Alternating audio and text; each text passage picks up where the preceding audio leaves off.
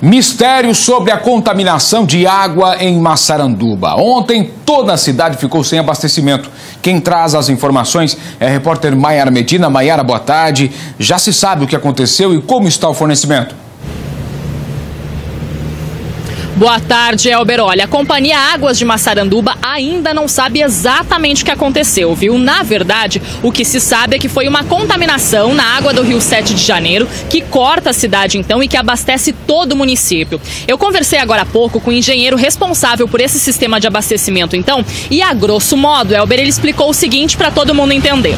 Um sistema que eles monitoram aí diariamente avisou ontem pela manhã que a água do rio então estava contaminada. A companhia a tempo conseguiu travar então a entrada dessa água no sistema de tratamento, que daí vai direto para a residência das pessoas, né? Então essa água contaminada não chegou nas torneiras. Aí, conforme o rio foi levando essa contaminação, o sistema foi sendo re restabelecido, né? O abastecimento foi voltando, o que aconteceu hoje pela manhã. Segundo a companhia uh, Águas de Massaranduba, então apenas um bairro mais afastado lá da cidade permanece sem água, mas tudo deve estar resolvido aí então até até o fim da noite de hoje. A gente está falando de uma população atingida de quase 18 mil habitantes, toda a cidade aí de Massaranduba. A companhia informou também que agora espera resultado aí da coleta de amostras dessa água para saber então do que se tratou, de que produto que se trata, se foi alguma empresa que fez essa contaminação e de onde ela teria surgido, né? A gente espera que logo seja resolvido isso, né, Elber e Sabrina, para que se puna